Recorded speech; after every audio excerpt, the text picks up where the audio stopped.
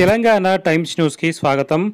ఉదయం నుండి ఇప్పటి వరకు అంటే సుమారు ఎనిమిది గంటల వరకు ఇంకా ఈడీ ఆఫీస్లో విచారణ కొనసాగుతూ ఉంది. మరో రెండు గంటల పాటు ఈ విచారణ కొనసాగవచ్చని నిపుణులు సూచిస్తున్నారు.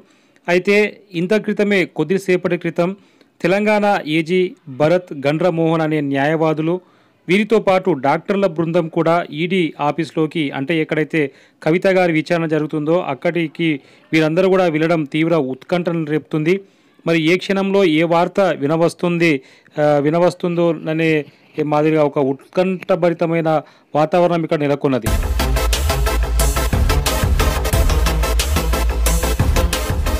నేడు మరోసారి ఈడీ ఎదుట విచారణకు హాజరయ్యారు ఎమ్మెల్సీ కల్వకుంట్ల కవిత. మొదట ఢిల్లీలోని ఈడీ కార్యాలయం వద్దకు కవితతో పాటు ఆమె భర్త అనిల్ మంత్రి శ్రీనివాస్ గౌడ్ న్యాయవాది సోమభరత్ చేరుకున్నారు. ఆ తర్వాత కవిత ఈడీ కార్యాలయంలో లోపలికి వెళ్ళారు. ఉదయం పది నలభై ఐదు గంటలకు ఆమె లోపలికి వెళ్ళగా అప్పటి నుంచి మరి ఈరు ఇప్పటి ఇప్పటి వరకు కూడా విచారణ అనేది కొనసాగుతుంది. మరి గత వారం మరోసారి ఈడీ విచారణకు హాజరు కావాలని కవితకు ఈడీ నోటీసులు జారీ చేసింది. అయితే మహిళగా తనకు ఉన్న హక్కులను పరిరక్షించాలని కోరుతూ తాను సుప్రీంకోర్టులో దాఖలు చేసిన పిటిషన్ ఈ నెల ఇరవై నాలుగున సుప్రీంకోర్టు విచారించనున్న నేపథ్యంలో కోర్టు తదుపరి ఉత్తర్వులు వచ్చే వరకు ఎదురు చూడాలని కవిత ఈ నెల పదహారున ఈమెయిల్ లేఖ ద్వారా ఈడీకి విజ్ఞప్తి చేసిన విషయం మనకందరికీ తెలిసిందే. కానీ ఈరోజు విచారణకు రావాలని ఈడీ మళ్ళీ నోటీసులు జారీ చేసింది. అలాగే ఈడీ సుప్రీంకోర్టులో కేవియట్ పిటిషన్ కూడా దాఖలు చేసింది. కవిత పిటిషన్పై విచారణ సందర్భంలో తమ వాదనను కూడా పరిగణలోకి తీసుకోవాలని వినాలని అందులో పేర్కొన్న సంగతి తెలిసిందే. దీంతో ఇవాళ విచారణ తర్వాత ఏం జరగనున్నది అనేది సర్వత్రా తీవ్రమైన ఆసక్తిని నెలకొల్పుతుంది. ఉదయం పదకొండు ముప్పైకి జరగాల్సిన విచారణ కవిత ముప్పై నిమిషాల ముందే హాజరయ్యారు.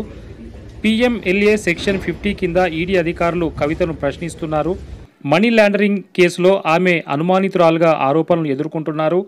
మనీ లాండరింగ్తో పాటు సౌత్ గ్రూప్ నుంచి కవితను ఈడీ కీలక వ్యక్తిగా పేర్కొన్నారు. ఈడీ ఢిల్లీ హైదరాబాద్లో చర్చించిన అంశాలపై ప్రశ్నిస్తున్నట్లు సమాచారం. బ్యాంక్ స్టేట్మెంట్ సహా ఇతర డాక్యుమెంట్లను కవిత ఈడీ అధికారులకు అందించారు. ఈ కేసులో కస్టడీలో ఉన్న ఢిల్లీ మాజీ డిప్యూటీ సీఎం మనీష్ సిసోడియా అరుణ్ రామచంద్ర పిల్లయ్యతో కలిసి ఆమెను ప్రశ్నిస్తున్నారా? లేదా ఇంకా ఇంకా ఏ అంశాలపైన చర్చ జరుగుతుంది అనేది ఇంకా స్పష్టకు స్పష్టతకు రాలేదు. అయితే ప్రస్తుతం ఈడీ ఆఫీస్ దగ్గర తీవ్రమైన ఉత్కంఠత టెన్షన్ వాతావరణం నెలకొని ఉంది. ఎవరైతే వైద్య బృందం ఈడీ ఆఫీస్ లోపలికి వెళ్ళారో వారు తిరిగి వెళ్ళిపోయిన వెళ్ళిపోయినట్లు తెలుస్తుంది. మరి వీరితో పాటు వెళ్ళినటువంటి తెలంగాణ ఏజీ న్యాయవాదులు సోమభరత్ గండ్ర మోహన్ రావులు ఇంకా లోపలే ఉన్నారు.